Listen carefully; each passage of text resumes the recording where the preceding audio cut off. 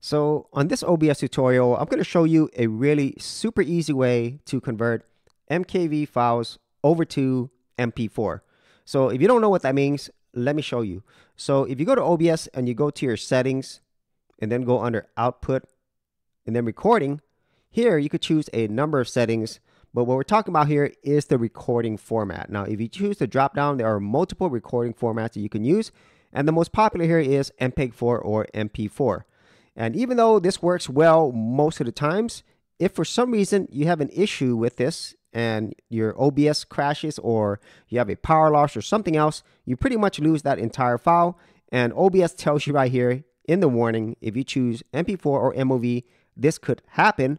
And so instead, what they recommend is you use another file format, specifically MKV. And this file format is very stable. So even if you have a crash, you won't lose the entire file and basically it'll have the file up to that point.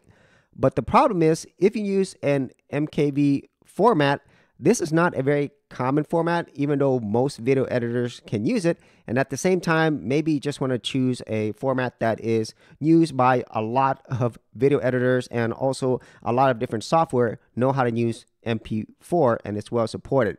So in that case, you have a number of options you can either convert this over to a MP4 file, which I'm going to show you first, or you could do it automatically through OBS. So the first thing I'm going to do is I'm going to go ahead and save this format as an MKV. I'm going to apply and say OK. So once you've done that and you go ahead and record a file, let me show you how that works. So I'm going to go ahead and record this vertical video file. And I actually have a window right here that I'm going to record, which is vertical. So let's go ahead and start the recording. And then I have a folder for all my vertical videos. So as you can see here, here is the .mkv file that's recording this particular window right here. So once I'm done, I'll go ahead and stop recording. And now if I go back to the folder, you know, that file is done.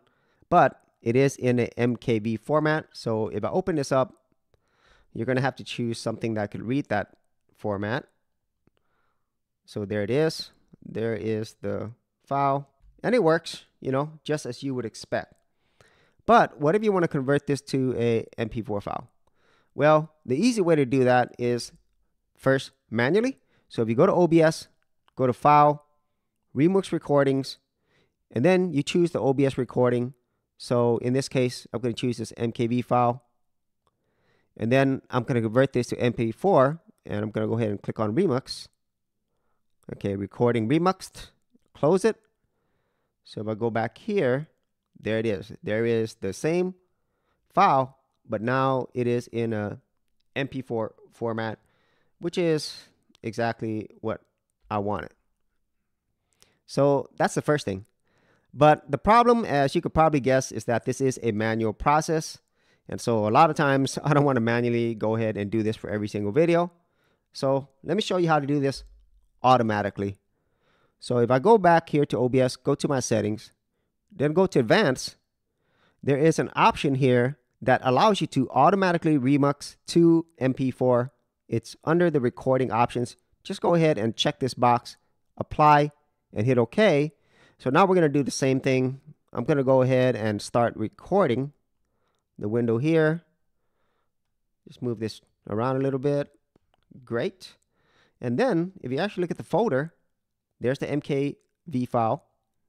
And I'm going to go ahead and stop recording. And it did that really quickly, but there it said Remux Recordings, and there it is. It converted it to an MP4. And you have both file formats available. So here's the MP4 and then here's the MKV. Same exact file, same exact recording. Uh, but the great thing is I was able to do this automatically. And this is really great if you're the type of person who does a lot of recordings and you don't want to lose it, especially if you're the type of person who does long recordings like gameplay and so forth. And you definitely want to have a backup just in case something goes wrong. And obviously, it'll save you time from manually converting this to MP4. So if you actually had any thoughts on this, conversion or remux feature, be sure to leave in the comments area below. And if you did want to see more of my OBS tutorial tips and tricks, I do have an entire playlist. I'll leave that in the description area below. So as always, if you did get value out of these videos, be sure to share, like, and subscribe, and I'll see you on another episode. For serious YouTubers, check out TubeBuddy, the premier tool news at geekoutdoors.com. Get more done today by checking out the affiliate link in the description area below.